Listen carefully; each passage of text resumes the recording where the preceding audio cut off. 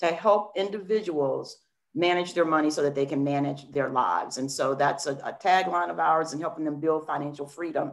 Uh, and that's how my business started. So it from seeing a need, but then realizing uh, from the standpoint of being a nonprofit, still a business first, but just classified as a nonprofit, that there was a tremendous need for individuals to have just very basic information so that we can make better financial choices and money management decisions and it has grown um, to be what it is today to include, we had already uh, started doing small business training because of course, individuals having budgeting problems.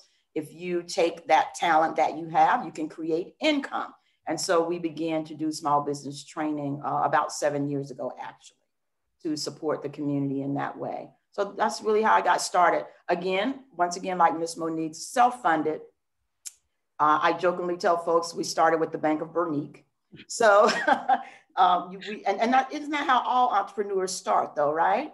right. So um, definitely started that way and, and, and have grown, of course, as a nonprofit organization to have the support of several local banks and, and grant funding and all of that right now. So. And you're opening uh, when? The Women's Business Center is currently open. We are now taking applications and okay. using this month as our launch month or celebration month uh, okay. uh, and everything. So yes. The the building that's on on Rivers, right? Ah, okay. That's so what, so the opening of the Women's Business Center and the building are two different things. Okay, got the Women's Business Center, which we are the host of, we are open for services as of mm-hmm. right now. The building, the Opportunity Center, which is our 30,000 square foot building that Increasing Hope will be housed in, and now also the Women's Business Center, right in the middle of renovations. I was there at the building today showing a funder. Hmm. Um, it will be open around September, October of this year. Okay. Yeah. Yeah, and that's right down the block from where I live, so I might be able to yeah come by and help out when I can. Definitely, love to have you. Yeah. Paint a wall or two, Dr. Hanson. no, that should all be done. Hopefully, we'll move in there. You can get him in to do some coaching and counseling with the Women's Business Center. Oh, that would be good.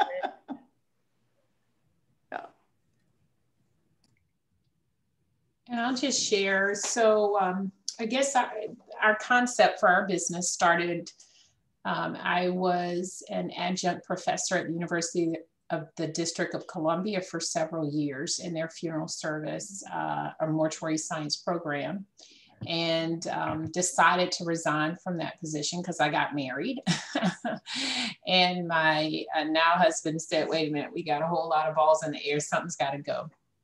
So that was an easy choice. But um, the students sort of followed me into opportunities to tutor.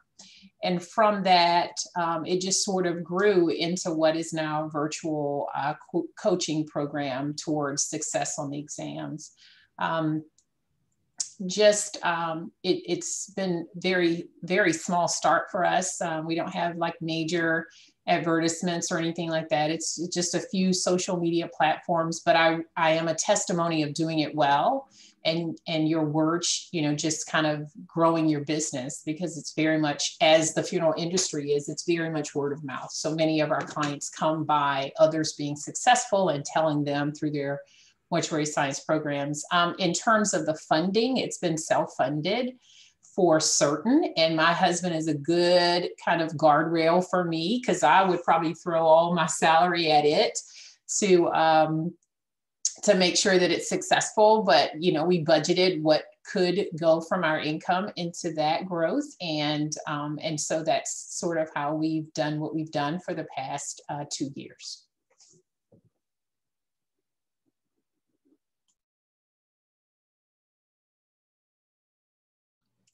Um, all right, well, the next question that I have for everyone is what were the um, what were your biggest challenges in regards to funding for your businesses?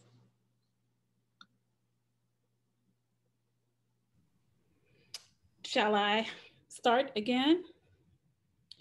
Um, so as I said before, my business was kind of one of those things that um, I was in doing business before I was in business. So I, I think one of the greatest challenges was having to go back and um, put all of the foundation that I didn't start off with uh, in place, um, which I mean, things as basic as a business licensing, um, filing, you know, for the organization uh, with the state, things like that. I had done it, like I said, I didn't really consider it a business when I first started. It just kind of morphed into that.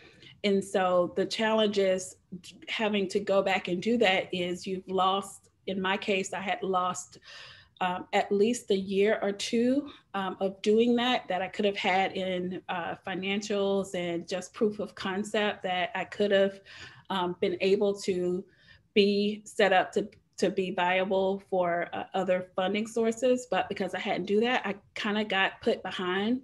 Um, I think that my situation is not unique to me uh-huh. because I feel like a lot of business women start off that way, or, or businesses in general, is that you kind of start doing what you love or what you need and then you realize that you got your hands onto something great and then you have to figure out how to go back and do it.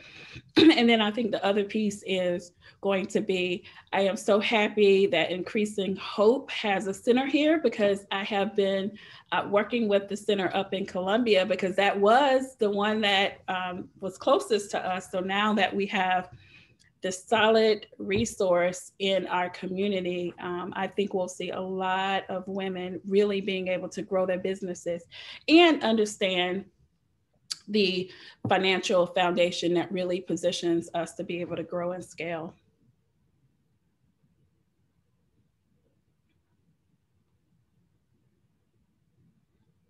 Well, I think for me personally, again, I'm the outlier here in being a nonprofit organization. So funding for us is a little bit different in that um, we do have the opportunity to write grants, to seek foundation, to seek funding.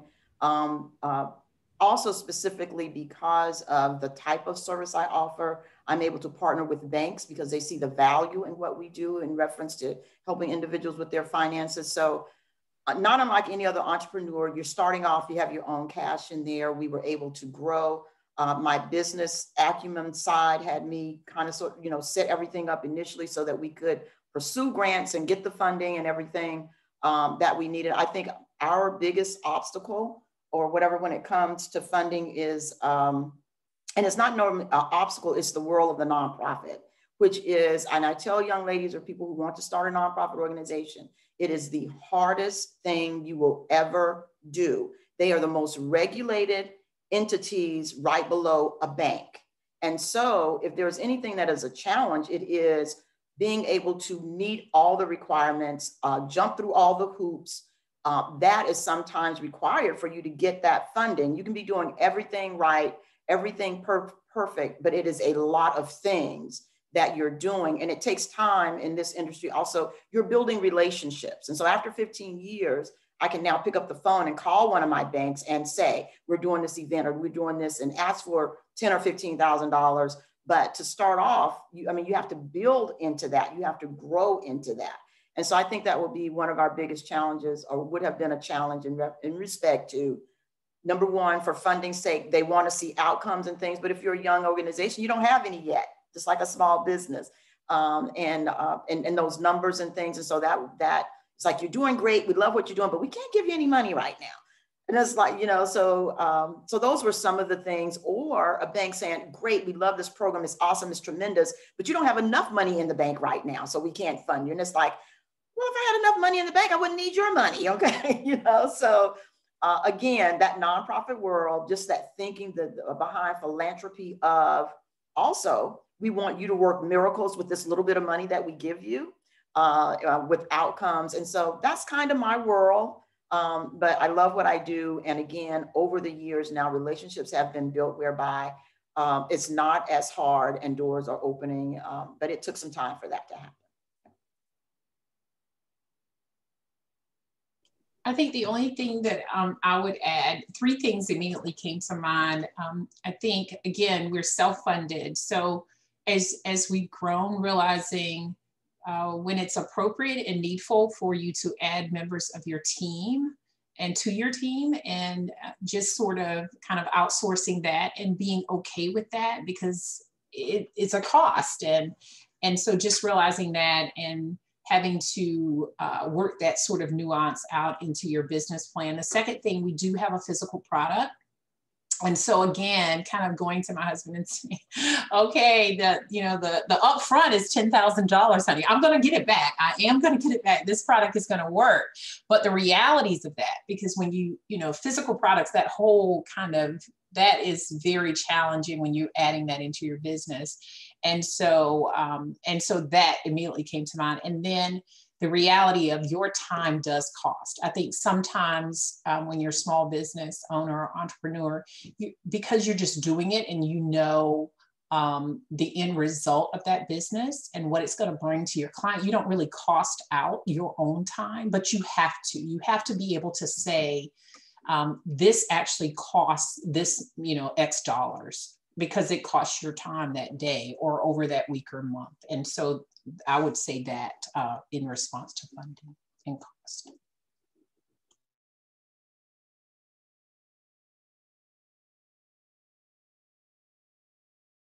Yeah, in economics, we'd call that opportunity cost, right? The any time you're spending working on your business or anything is money you're not, or time you're not spending making money.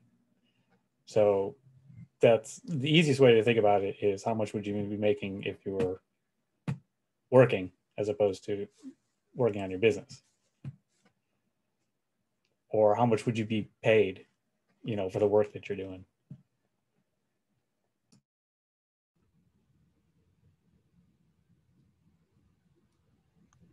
Um, i have a question. Um, how is running a business different than what you thought it would be when you first started That's a good question because I think, you know, again, um, I currently work full time. So this is juggling um, like m- many others who fund their business through their um, general uh, income. And so I guess one of the main things that uh, I probably didn't know what I didn't know, first of all. Let me start there.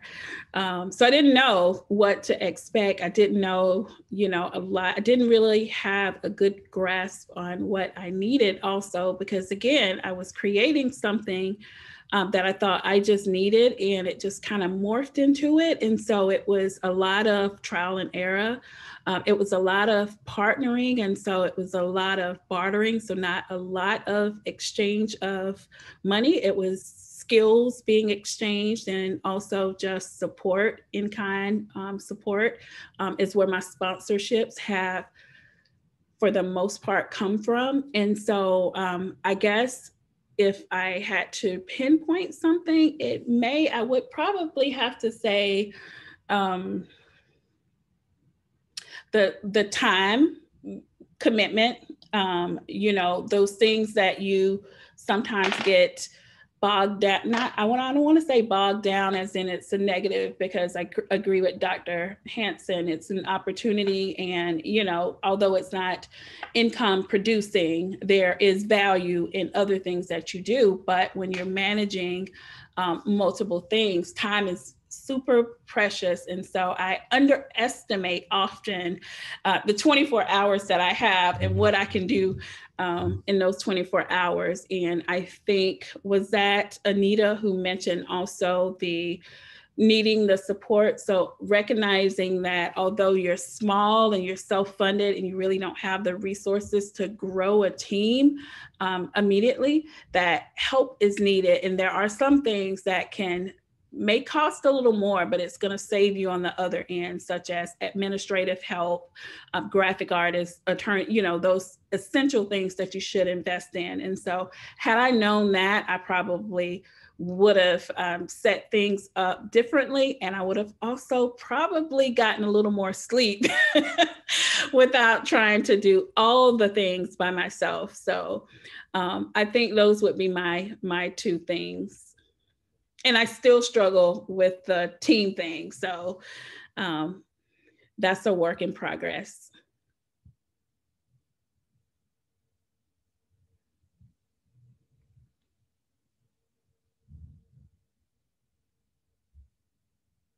So I'll just add two things. Um, for me, um, being okay, I think one of the two greatest learning um, outcomes has been being okay with being specialized.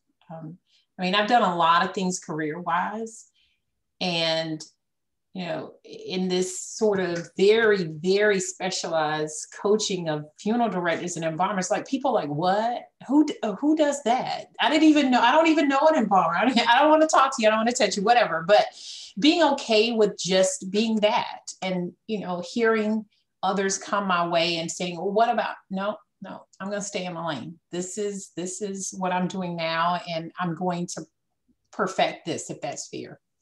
So the second thing that I would say is it's been very humbling because I'm probably professionally I've never had people really tell me no. I mean, I, am an 06 captain in the military. So a lot of people say yes, ma'am, yes, ma'am, all day. Well, when you're small business owners, people say no, no, thank you. And that's been very humbling because they have a choice of you or nothing, or maybe another vendor. And so that has been, that's been a blessing. It really has. It wasn't, that wasn't my initial thought when I started getting the nose, but now it's, I look at it now as a blessing.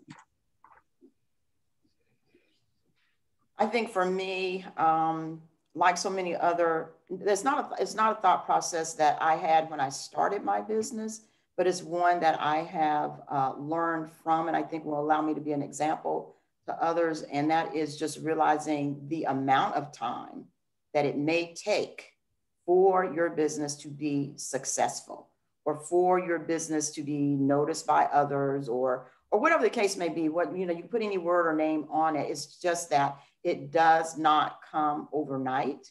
And that um, it is hard work, whether it be a for profit or a nonprofit, but realizing that um, you are your greatest asset for your business, uh, realizing that, that uh, you are the face and there are some things that can be uh, contracted out or given out, but then there are some that cannot. And being able to recognize the difference between those as you are growing your business and, uh, and then finally, I will say um, protecting your business. Protecting it not just from the standpoint of trademarking or this, that, and the other, but protecting it from the standpoint of being a business of integrity, doing business the right way, uh, honoring and, and uh, being trustworthy. Those are some of the type things that, that you learn, or you, and some of it comes from just who you are as an individual your your value system that going into who you are and, and being a part of your business. But those are things that for me now i believe will be able to be lessons for people that are coming through the women's business center uh, what that journey is like and the things that you have to be willing literally to quote unquote for lack of a better words endure as you are growing your business. Because there will be things that you literally endure or go through because you believe that much in what you're doing. Um, and others may never ever see that part or know that part, but but you always do as that business owner.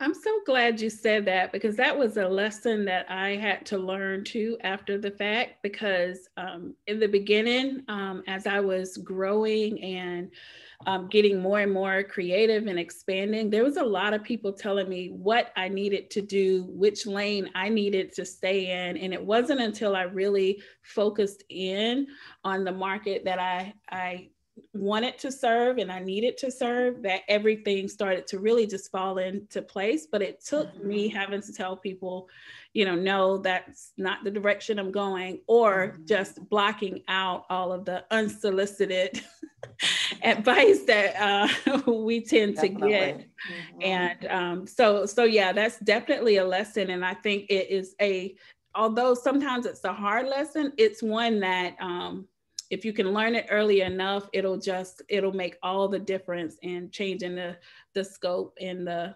direction of your business. So mm-hmm. I'm glad you said that. So now I can join the rank, ranks of others who had to have so many hard lessons, but that's a good one.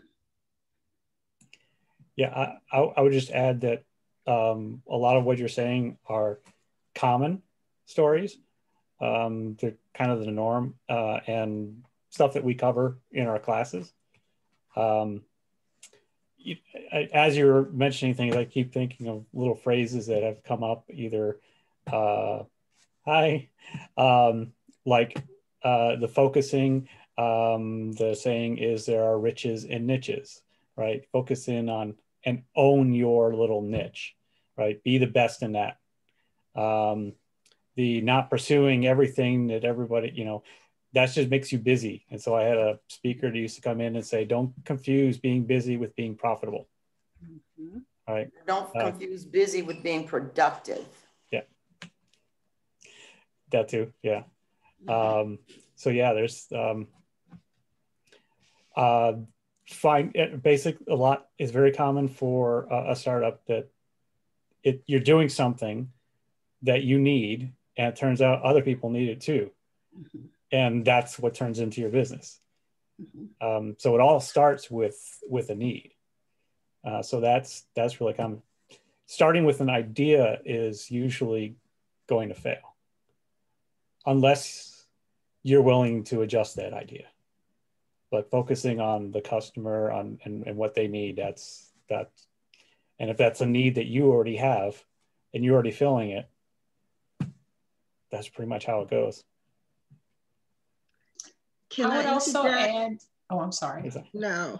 Anise just rejoined. I got out of my car and I got home. So um, I have, I do apologize for missing some of your comments, but um, I do think that you're talking about the motivations of establishing your business or what you should have as your lead reason for um, selecting the business you uh, decide or did decide to establish. And um, I just want to say that um, I think it's very different for everybody. Um, I come from a family of business owners. And um, when you have a family of business owners, oftentimes the, the family business is, you know, you're led to be a part of it and or you're encouraged to be a business person. Um, personally, um, I'm at the stage where I've been a part of establishing uh, a variety of businesses. I don't want to go through it and, and take up your time, but in the business that I'm looking at now, it's very different than the type of business that I would have looked at, you know, at the stage that you all are at um, because I wasn't in a city professionally that is so tourism oriented as Charleston is. So um, also con- attributing that to being at a point, I want to do what makes me really passionate. You know, I don't care what it is. Um, and so, as opposed to earlier and at other phases of my professional life, I did, you know, of course, look at a niche or what the customer needed and you know what was out there um, you know for example one of the ladies mentioned that she had a, a, a type of um, empowerment women's and young women's empowerment type business i formed an empowerment and etiquette program um, while i was in while i was substitute teaching for high schoolers because I saw the niche and the need. Would I, I did all the right things as far as marketing it and, you know, establishing. Um, I didn't go through the business licensing, that kind of thing, but I know all of the things I'm supposed to do because I have a, a business degree and a banking and finance background. But when you're, you know, when you're at a point of, you know, seeing a niche or feeling passionate about something, you kind of just go with the, you know, head on. And that's what I did. And what I found was that the young ladies in schools were willing to pay, and I only charged $10 for my program. Um, they preferred to put it in their hair or their nails as opposed to coming, you know, on Sundays to an etiquette program and paying $10, you know, for, you know, the, the nicely prepared lunch and the professionals that I brought in for them to, you know, seek individual knowledge and information from and, you know, the, the, the whole program.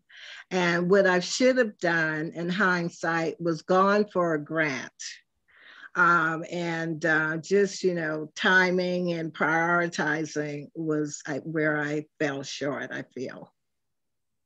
So.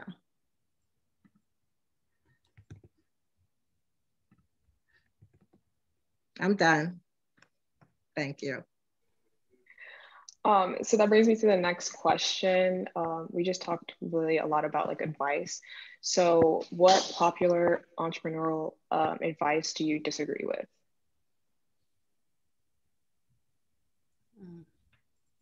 I'll go on that one.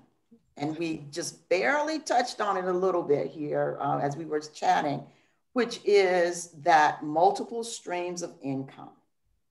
You hear that all the time. You need multiple streams. If this doesn't work, this doesn't work. That is the worst idea or advice anyone could give you or that you could take. Why? Because if you are growing your business, you need to be able to focus. You need to be able to put all of your time, all of your energy, all of your efforts into one thing and not uh, dispense or di- what is it, dilute the energy. I, I, describe it like a laser. A laser is a powerful, powerful thing, can burn through something. But if that light is diffused, it won't go through or penetrate anything. And when we have two and three and four businesses, that's exactly what we're doing. We are, our efforts are diluted. We don't get the, the, the results that we want. And so for me, that is a huge one. That multiple streams of income. You need multiple streams of income I've been doing Increasing Hope for 15 years. This is my own first business, my only business, and hopefully it will be my only business. And all of my effort and all of my time and all of my energy has gone into this one business. And I believe that that is a part of the reason why we are seeing the level of success now. So that's my soapbox. Guys, don't listen to that multiple streams of income thing maybe once you get your business up, and yes, so Increasing Hope does do housing counseling, and can we get grants from that? Yes, that's a stream of income. And we do um, charge small fees to our clients. That's a stream of income.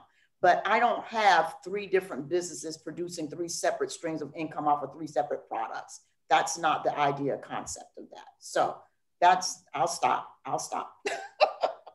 I, I'd add two two things. That one is that that that goes the same for like who you're focusing on as a market mm-hmm. right so there's the tendency let's go for everybody that we can let's think all the people that we could sell to as opposed to focusing on on the mm-hmm. people who have the greatest need uh, but i would add that rather than multiple streams um, what you want are the multiple levels of the same thing the the good mm-hmm. better best strategy so the people who are willing and can pay more you offer them something more you know give them the upgrade. That's that's where the multiple stream should be just simply higher quality more features whatever it might be.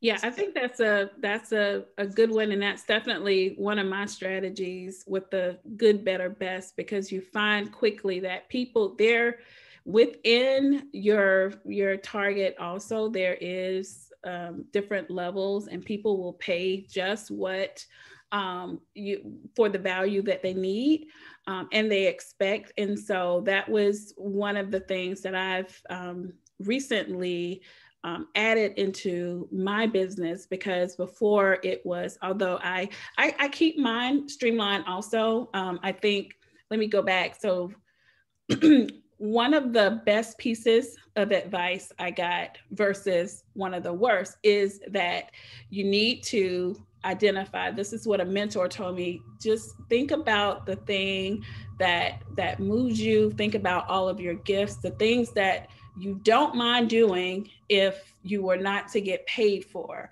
And so that is why doing this made it a little more, not even a little more, a lot more easier for me because I consider myself to be a connector.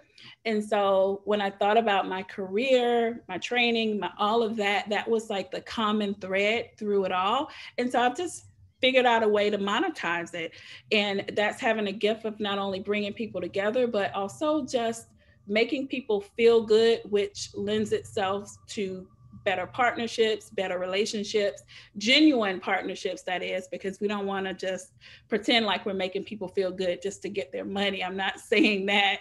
These are genuine um, connections, but you know, once I figured that out and figured out how to get creative within that to um, really add in some additional streams um, in different levels, um, it's changed the game. And I, I, I'll say that this honestly, because I'm always transparent. So transparency also gets you a long way because you not only um, allow other people to hear what your your challenges and struggles are but it's relatable and people want to relate you know we're we're humans we want that connection and you know and being transparent is saying that you know this is a new strategy that i incorporated within the last two years i launched my business officially in 2015 uh, and so we're talking i mean years later after i really got a, a, a rhythm and learning and continuing to learn. Um, I think um, someone mentioned earlier that, you know, coming from a family of entrepreneurs, well, where I'm from, we didn't we didn't see business owners, we didn't see black owned businesses, didn't have them in my family. And when I think about it, we did have entrepreneurs that we saw, but we did not connect that to to being a business. So an example is we had a older gentleman in our neighborhood who who sold sodas.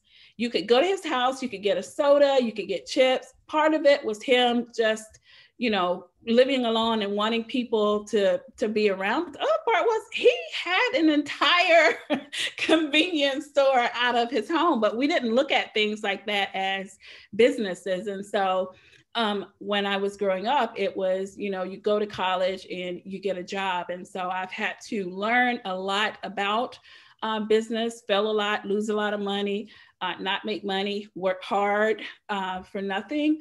But um, in the end, you know, I think it's you're always learning, you're always growing. And um, you know it's just one of those things that that overnight success is overrated so people who think that people wake up and have a bright idea and they're in business and they're millionaires within a week that's probably my biggest uh, myth so I'll um, I'll stop there. But yeah, there's it, it's it's a it's truly a journey that I didn't realize what the journey um, would be and where it would lead me to, and just not having a real perspective of what this type of monetization of my passion and skills um, would be, and that it would even make me money. So, um, so yeah, just ever evolving. So I love that, Monique. I, I, almost said, were we neighbors? I mean, I grew up in Sumter, but we everybody had that gentleman or that little lady where you could run down there and get a chicken sandwich or a bag of chips or something in a crunch. But um, so I think I'm, I'm gonna uh, share a twist to it. So so the best advice was um, includes know your value. So just because you're new and you're small does not mean you need to price your services or your products inexpensively they're what they are. I mean, you're going to grow and you know the value that you're going to add and you know the change that that implementation will bring to the customer. So that that was some really really good advice. The other um, advice was, um, you know, validation is is for parking tickets. Like I don't need to be validated. I know who I am. I stand in that value, and you need to convey that in everything that you do and say when you interact with your potential customers. The worst advice was to be everywhere. Like, you know, there's Clubhouse, there's LinkedIn, there's Twitter, there's Facebook, there's Instagram. I'm like, I can't keep up with all those, you know, logins and I don't even understand them all. I told somebody I've never tweeted, I've never been, I don't even, I don't know what, I know it's a bird and that's the extent of it. So, what I've come to realize is I'm not trying to find because people will say find where your customers are, know when they post, and I, that's too that's too complicated for me. What I'm going to do is choose the platforms that I understand that I like, and I'm just going to post and be present there, and good give good information, add value uh, to in my post, not posting just to post, add value and be confident with that because I cannot be on all those platforms. That, that was just craziness for me. And just the idea made me anxious. So that's my share. If I can come back in, um, the ladies that spoke, they get they have given you excellent. And when I say excellent, I say excellent with an emphasis on the E advice. However, I'm somewhat of a rebel when it comes to how things are supposed to be. and so, what I want to share with you is you may have some rebels in your environment that don't do it the right way because I have been involved in the arts um, community and for example, I, I could see where you have a business where you primarily um, uh, showcase, you know, Af African art, but why not showcase African jewelry? Why not showcase African music? you know, our African American music. It's still an arts component. There are different types of arts, but if a person comes in looking for a, you know, meaningful piece of visual art, if they see a piece of jewelry, then that can supplement your income. You see what I'm saying? So I look at it a little bit more broad based. And because I'm at the stage that I am in my life, um, I'm not, um, I'm going to attribute it to the beautiful ladies here. I'm not successful business wise, but I'm just sharing with you how I thought. I have been thinking about different income streams, especially understanding the dynamics of what happened to our economy in 2008 my mother passed in 2004 and left me money. So I was the assistant cultural arts director of North Charleston, had a lot of passion, a lot of know how. And so I said I would establish my own cultural arts event planning company, Miss Monique Hill, okay? and but who knew that the economy when i when i first i got thousand dollar gigs I planned the first African Arts Festival on um, Marion Square Park, you know, with grant funding and all that kind of thing. So I was establishing my personal business, but who knew that the economy was going to go, you know, just crazy, where it was a lost economy on every level you know, in 2008, 7, 2008. So that affected, you know, everything that I did. So now, as um, and also just recently with COVID, you know, look at the people who have all kinds of businesses focused in one entity, but maybe different income streams, which Miss Dorothea, please forgive me, was how I'm thinking now um, you know, with my passion being tourism, I'm thinking Charleston gift baskets to put online because not everybody can come to Charleston anymore. And those who come want something to take back with them. I'm thinking about maybe getting something a little bit more part-time solidified so I can have um, benefits perhaps, or at least an income stream of dependable sources coming in. So maybe with a college or university, because uh, they didn't close down completely. And then I'm thinking of, uh, as I said, something with the International African American Museum, a program that's maybe directed to preteens and teens that I can offer them that maybe they don't have. So you see what I'm saying? Different and still within um, maybe tiers with the gift basket, that kind of thing. You know, you can get a $25 one, a $50 one, or a two, $200 one. You know, that's what I'm saying. So that is how I'm looking. I'm not saying I'm right, but I just wanted to let you know you do have a rebel among you. Actually, I, I think what you described is right on um, in terms of what everybody else was sharing about staying focused because you're all I heard was art and you know you're staying true to that. You're just monetizing it in different ways. So whether okay. you are looking at gift uh, baskets or events that are based in that same art, um, I, I feel like that's a, along the same lines, but we got a financial advisor on here. So what do you think? I know, well, girl. tell, I'm a former assistant national bank examiner and auditor, so I know all the finances, whether I lived it I'm just saying in the past because it's a new day. Yes. So I'm very open. And you know, I need all the help, you know. So you know, I'm I'm very open for good advice now because I I don't listen to myself. my own knowledge. Well, we'll go to lunch. We'll okay. we'll, we'll all Thank go to lunch you. and we'll have Thank a you. conversation. Thank you. Praise God. Thank you. Well, I just wanted to open the floor now. If you guys have any questions for us or each other, um, feel free to absolutely ask, and we can all have an open discussion about that. I don't know if you do, but no pressure. well, I'll I'll ask a question to everybody.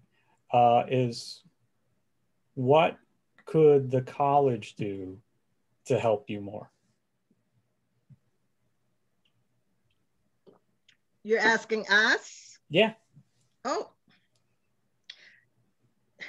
Let me just tell you, um, I'm a Howard grad. This is new, my interaction with you all, but especially with Kamala, you know, being one of our representatives, I was going to approach Howard about having a major university summit at like the biggest ball field or something that they could have to because there's so many successful people but you know and they say we will connect you know we will network. But to be able to have something like that where students can come back and interact with those who've been successful, not so successful, people like me that still have to work at 68 years old, you know, um, that there could be that kind of networking you know you obviously would go back and see you know your people you went to school with if they decide to come but those you know um, business entities that set up then you would have you know the top resources to go to and say you know this is where i am at this stage in my life and i need x y and z to happen you know, your business does this. I'm meeting you face to face. You're a Howard graduate the way that, you know, I'm a Howard graduate, but I still need your help and connection. And then, you know, you fill out the form for them to get back to you or something like that. I, you know, that's the vision I have. And from your standpoint, you know, it's almost like what you're doing now. is like putting people together who can who have everybody has something to bring to the table. So you may um, uh, the lady there may have um, the expertise in financing and how to establish new businesses and that kind of thing but maybe she needs something from one of us. So to have that kind of interaction on, you know, Miss Dorothy, how, what is it about me that other than me coming to you for business, what is it about me and my resources that I can do to help bring you some benefit to your life? You know, something like that. I love that. I actually agree. And I've thought about this question a lot. We've had many conversations, Dr. Hanson.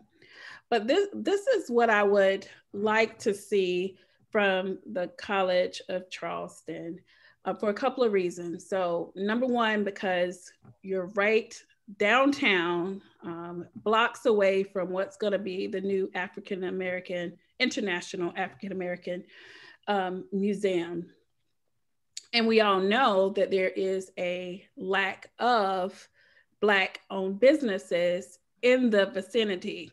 So we're talking about an international museum that is going to be opening its doors the end of this year, if not 2022, and attracting people from all over the world and for history rooted in the same businesses that aren't won't be able to to benefit from this traffic that the museum will bring in, um, let alone the general tourist um, traffic that we get right from the cruise ships and just in general with people coming into town.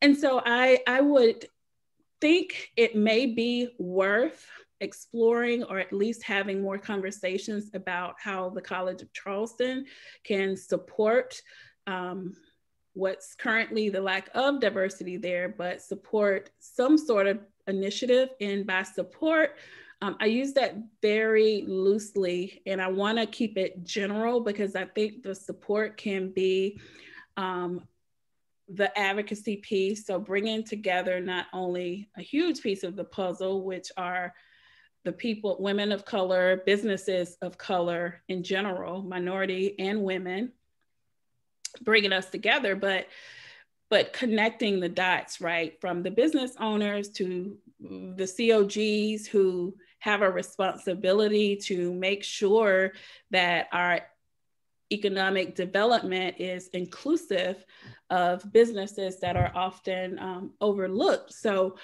I don't know specifically what the role of College of Charleston would be, but I do know the College of Charleston has a very loud voice that could not only influence and get people in the room that need to be having this conversation that could figure out how to do this, but um, also you have this amazing um, School of Business that's hosting these types of events and um, that many people like myself can can benefit from not only the experience but also the partnerships. And so what is a bigger role for the college of charleston so is it a bigger um, event is it a conference is it whatever but the voice that you all have i just feel like you can influence so many um, things. And my last piece of that so, number one is the lack of Black businesses within walking distance of the museum. Number two, using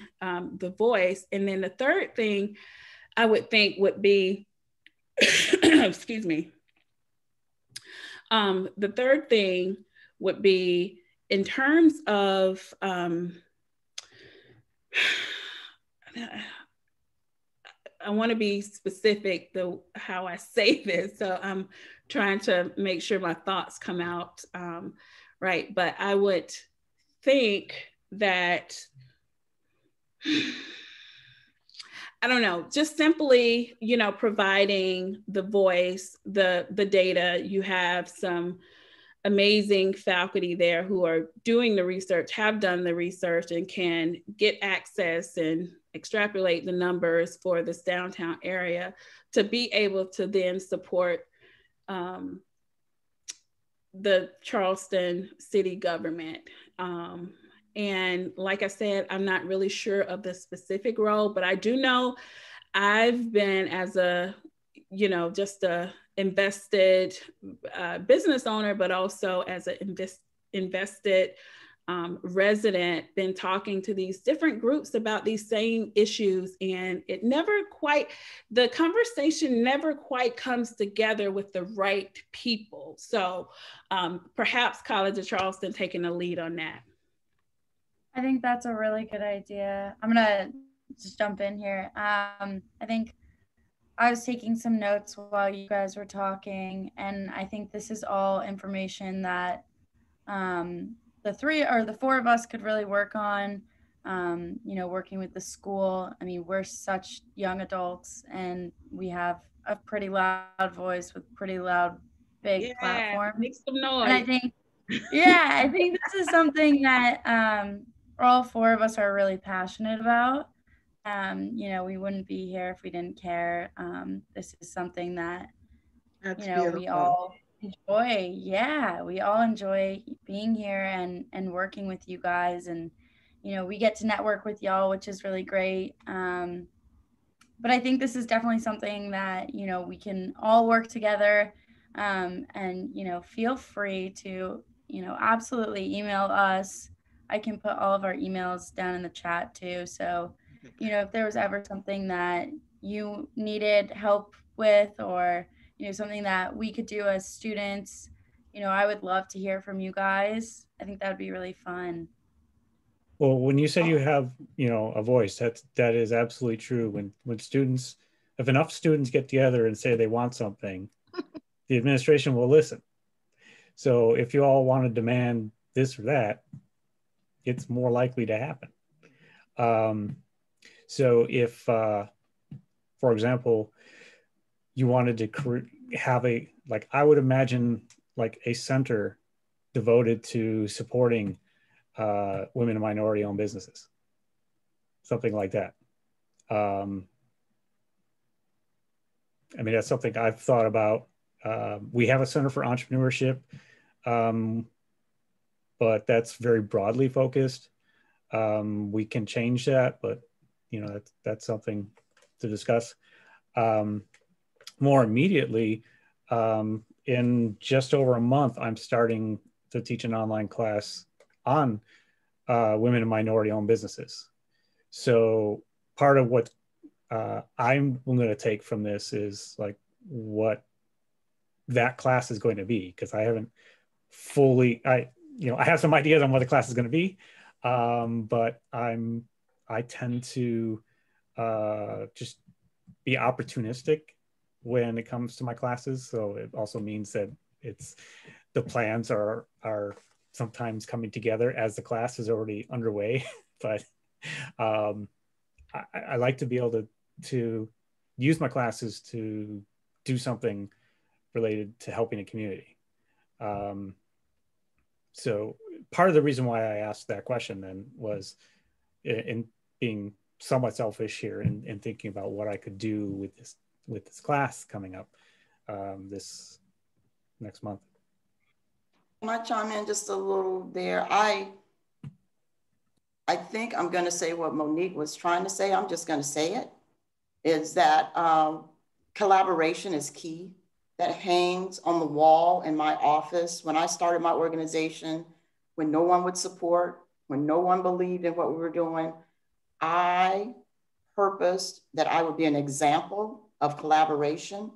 Part of the reason why I'm getting ready to be able to move into a 30,000 square foot building and expand the services of our organization the way we have is because I was willing to come to the table with other organizations that were different from me, that maybe thought from me, but we had enough in common to have a desire to serve this community that we chose to collaborate. And so people ask me, how did it happen? I said, we did something that most people only talk about. I said, we chose to collaborate. So, Dr. Hanson, a collaboration.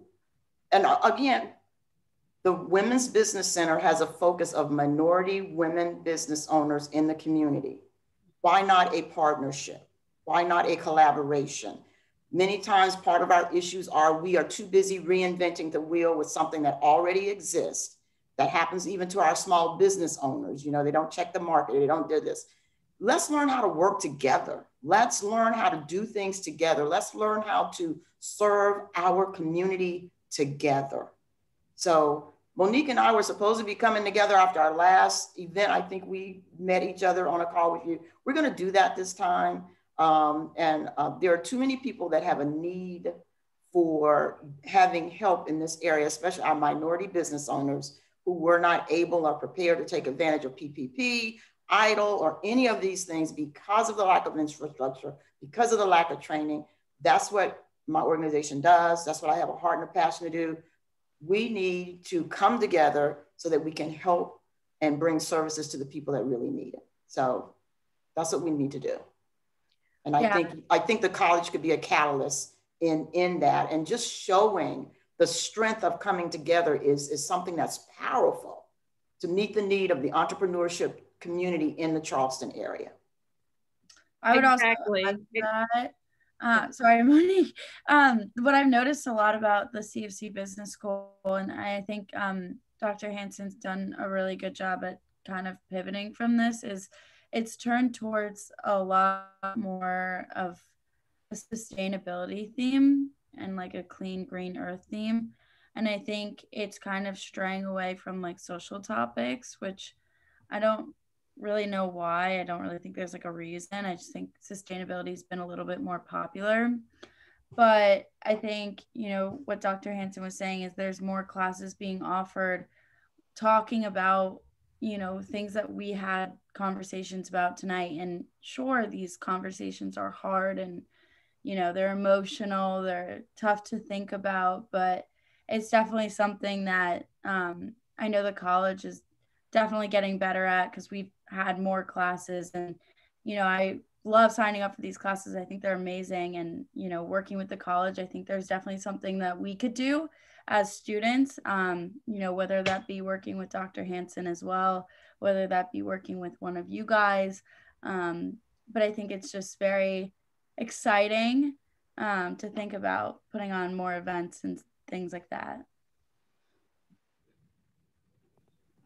Yeah, I was just gonna add on Lucy to what you're listening to what you just added on. Um, you know, you would think in this whole sustainability that economics would be included in that because we are the first, I mean, one of the leaders in the state of South Carolina for, you know, promoting local first, local businesses, right? And um, the amount of tourist dollars that comes through. And so you think about the tourists that come here, you know, the businesses that are downtown. So again, I guess I'm saying without saying is that we have to also not only collaborate, but bring people to the table that can make the change. And the city of Charleston has not failed uh, minority businesses, but they are not doing anything to help promote and move this specific agenda forward. And it's going to be unfortunate to, again, I go back to the African American Museum to have such a highlight and a pillar in our community in downtown.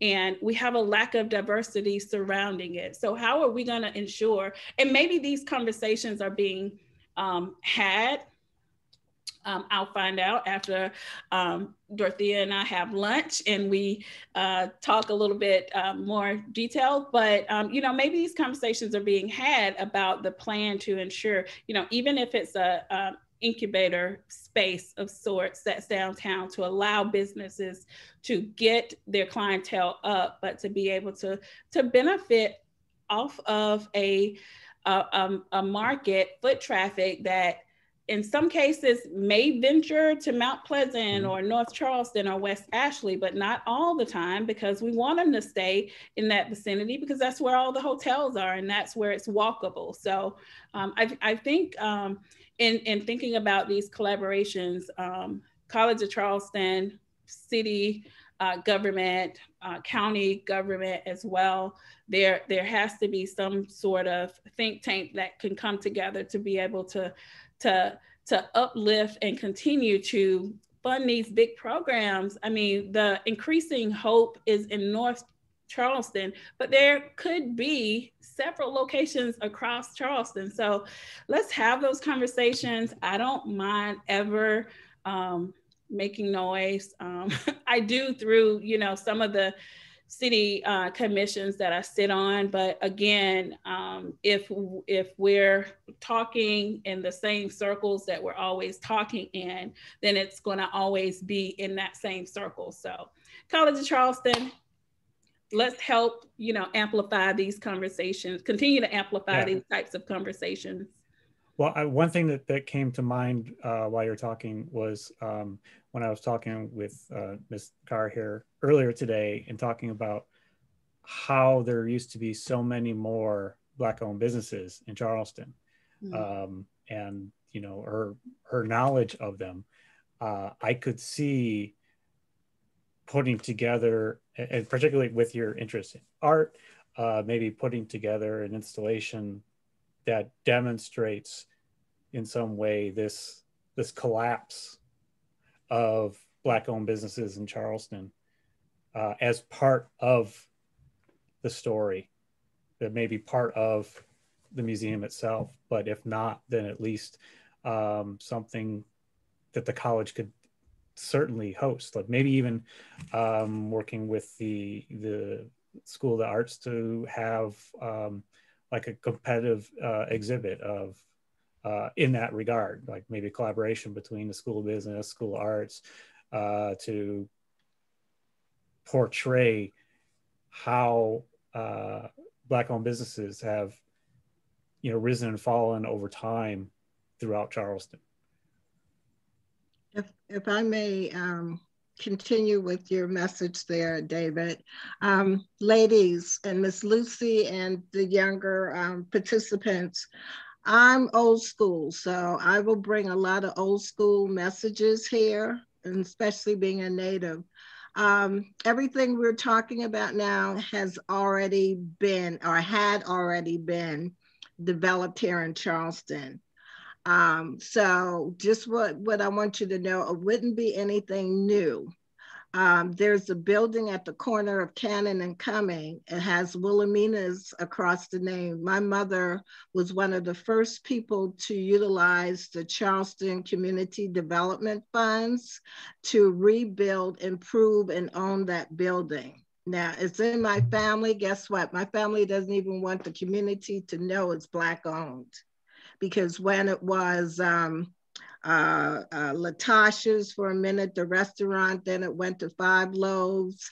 Um, it was more um, uh, supported by the you know white community, and they want to leave it like that. So there are a lot of different historical dynamics. So my only point to you is what happened to let you know what happened after they had the Community Development Corporation and they funded certain uh, entities to allow them to grow, such as my mother's business, then it, it just died down. So it's a continuum that you know with the new fresh blood and ideas that you know yourself the college of charleston i feel can make more of a mandate that we can't establish this. Because mr Dorethia knows what i'm talking about. We can't just support her for a little while and then let it just fall by the wayside. You know, uh, a good example I am a product of affirmative action, and I'm very proud to say I am. But guess what? It became an issue, and they let the doors of opportunities that allowed me to be the first and the only um, just fall on the wayside with all the criticisms about it, as opposed to looking at the good things that it was set up to do. So, you know, bottom line, my advice to you younger people is to recognize that this isn't the first time that you're going to be asking, but it's also about who leads it and how you develop long-term strategy to make sure sure that it just doesn't fall under the bus. Well, thank you for sharing that. Honestly, I really appreciate it. Um, and I know even though you say it's old school, it's still important. Um, you know, uh, the four of us have meeting a meeting set up on Monday to kind of talk about, you know, everything that was discussed during this. And um, you know, I really appreciate you guys kind of being really honest with us and telling us exactly kind of what you want to see in the future. Just because what we were saying before about how you know, young adults have a really big impact on communities, especially being a college student. Um, you know, we can reach a lot of people through different channels, and that's something that, you know, I definitely want to use to my advantage and your advantage. So, you know, like I said before, please absolutely um, connect with us and stay in touch with us. And if you ever need anything, like please let us know and you know we can definitely work with you. Um, these girls are absolutely fabulous. They're so sweet and so helpful and you know the four of us can definitely help you guys out in any way shape or form. Well one thing um, everybody could do is uh, make sure to join the linkedin group. Uh, foster, um, was it? I forgot what it's called now. Supporting. supporting, yes, supporting women of color entrepreneurs in in, in South Carolina. Because uh, the more people that are there, the more help there can be. Uh, so encourage people to join. I'm happy to make anybody that wants to take more active role in it, uh, a manager of it, um, and you know, uh, make use of it. I mean, it's it's it's a platform that we can use. It's free. Um, it started. There's 31 members, I think, something like that. Um, I can, you know, we can easily get that to you know 310 in no time, I think, and then then becomes valuable as a as a place to to network and get help in conjunction with everything else but there there's at least that yeah that group is great there's also a lot of um, people in there that host events and um, they're usually like right up everybody's alley which is awesome and they're really interesting. So it's another you know way to get out there and spread your name and your business which is super awesome. Um, but does anybody before we wrap this up does anybody have any final questions or anything else that they want to talk about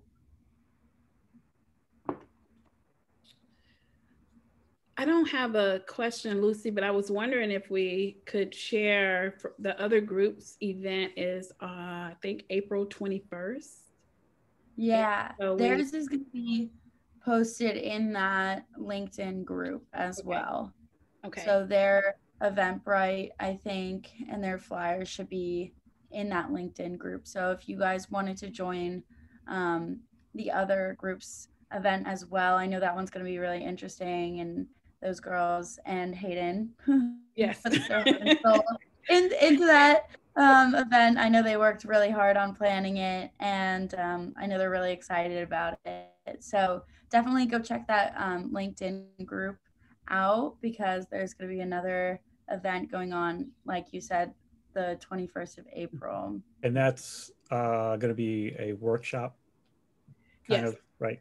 Financial um, literacy, yeah, and finance. Yep.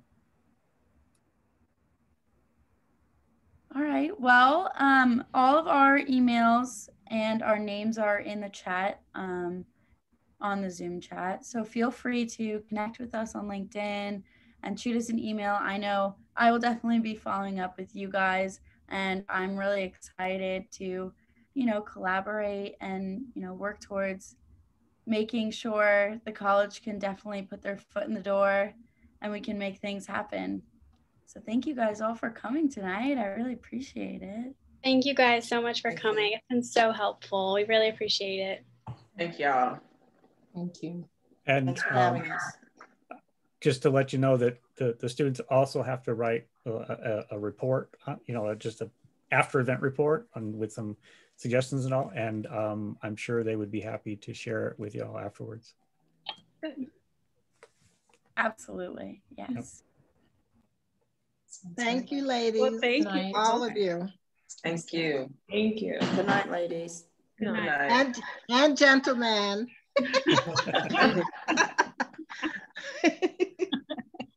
yes, thank you, um, Dr. Hanson, for all being a um, just a voice and a champion for moving this type of uh, programming um, forward and always embedding it in your your classes. It's it's I've enjoyed every single event that you've all produced, and just working uh, with both groups on these events. It's just, I mean, it's clear to me that you've set the tone and the passion, and just continuing to keep the uh, flames going and passing it through through the students. So y'all have been great. Um, like I said, the events are great, and we we very much appreciate them. So keep them coming.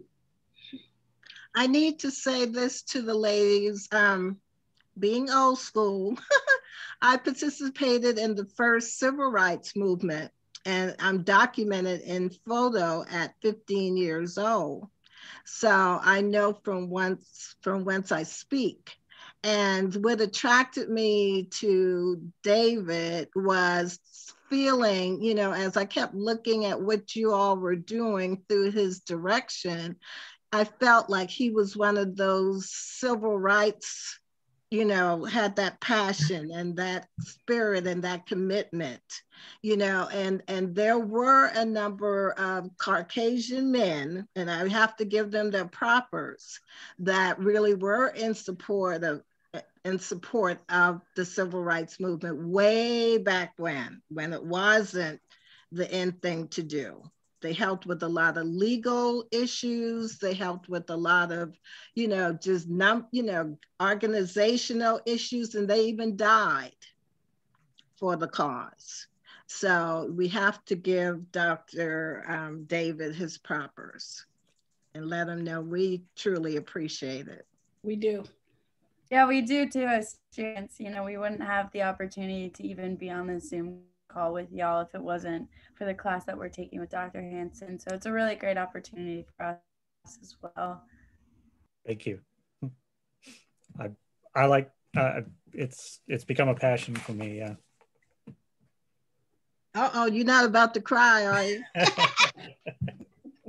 I know I, am crying. This is so fabulous. I, am ready yeah. to share it, shed a tear or two. It's a safe space, so tears are appropriate and, and welcome in most cases. So uh, feel free. hey, Monique, I got to know you personally. I'm gonna, I'm gonna cry. On, I'm ready to cry on somebody's shoulder.